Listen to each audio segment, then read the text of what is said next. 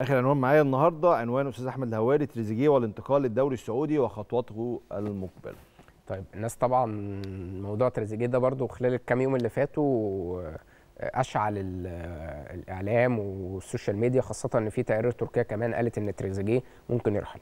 خليني أديك بس كام حاجة كده مؤكدة. يلا بينا. تريزيجيه خارج الدوري التركي قريبا.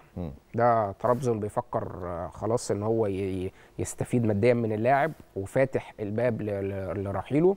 اللاعب تلقى عروض سعودية في بداية الموسم. آه، أكتر من عرض جاله من السعودية اتحاد جدة. أهلي جدة بعد صعوده دخل بقوة في صفقة تريزيجيه. نادي اتحاد جدة بي- بيتنافس مع أهلي جدة على الظفر باللاعب. اللاعب مرحب بالانتقال للدوري السعودي خاصة إن الدوري السعودي كريم بقى وجهة لكل لاعبي العالم وكل نجوم العالم.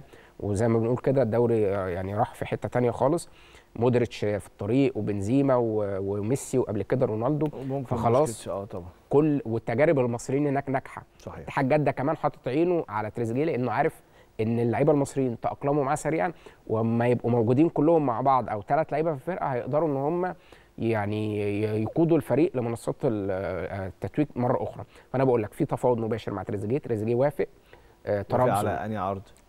لسه على الانتقال للدوري السعودي. آه. لكن قصة العروض دي هتبقى متوقفة على اللي هيخلص مع طرابزون لأن النادي عايز حوالي 6 مليون دولار. مم. فمين اللي هيدفع؟ مم. ومين اللي هيخلص؟ ومين اللي هيتفق مع اللاعب ماليا؟ مم. فالقصص دي أما تتحسم هي... هيتحسم قصة انتقال تريزيجيه للدوري السعودي اللي خلاص قريبة جدا رغم إن اللاعب بيبحث عن عروض في أوروبا وكيله بيدور له على عروض في أوروبا لكن العرب الدوري. السعودي.